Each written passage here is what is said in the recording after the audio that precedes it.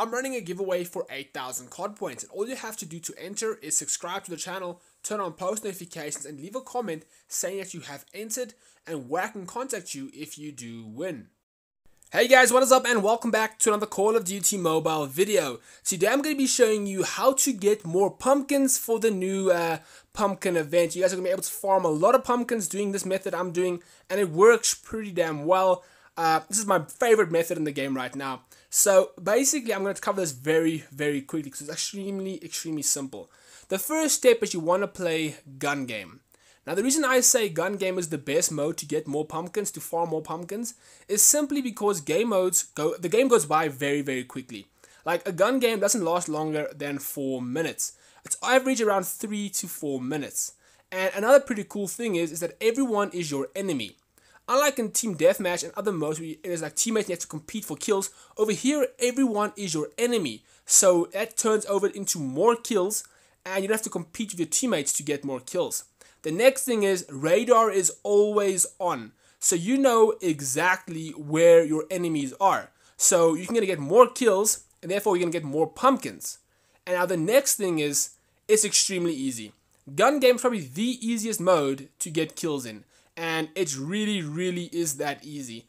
And what I found out is I get around 7 to 10 pumpkins every game of gun game, which is pretty good considering it only lasts around 3 minutes, which means technically I can get about 30 pumpkins every 10 minutes if I'm getting 10 pumpkins a game. I get around 7 to 10, so I'm always getting above 20 pumpkins every 10 minutes, which is very, very good in my opinion. And it's a very quick farming method. You're going to get a lot a lot of pumpkins. So I definitely recommend you go try this out. There's no exact way of making the pumpkins drop. Uh, the way to actually get them to drop is just by getting kills. I've read some stuff saying that headshots give you more pumpkins. Not really the case. Uh, I've tried it out for a couple of games and I wasn't getting more pumpkins than I was getting just by killing people. But what I did find out is the more kills I got in a row turned into more pumpkins. So if I got a higher kill streak, it essentially turned into more pumpkins. I still got the same amount of pumpkins per kill, but I was getting more pumpkins for every kill I got. So I get like more pumpkins in a row considered me like getting a kill and then dying. So I definitely recommend trying to stay alive, playing tactical, and not just getting yourself killed the whole time. But then again, uh, gun game is so easy, you're not really going to be dying the whole time. And for people that don't know how to get the pumpkins, you can't actually pick them up, they just go onto you. So if you kill somebody and you get a pumpkin, you'll automatically get it. You don't have to go run over somebody and then pick it up. Because I thought, when I first started playing, I thought you actually have to go run over the player and get the pumpkin. No, it just gets added right to you once you get that kill. And not every kill is going to be a pumpkin, only some kills are pumpkins.